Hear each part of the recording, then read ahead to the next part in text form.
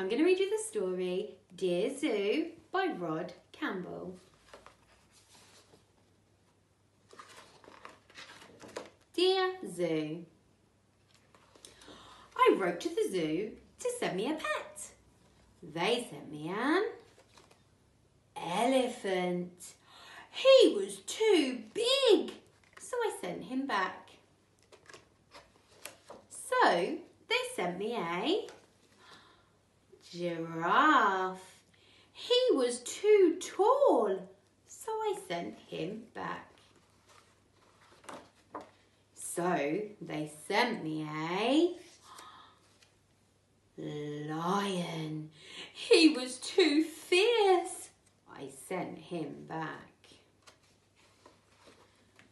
So they sent me a camel. He was too grumpy. I sent him back. So they sent me a snake. He was too scary. I sent him back. So they sent me a monkey. He was too naughty. I sent him back. So they sent me a frog. He was too jumpy. I sent him back.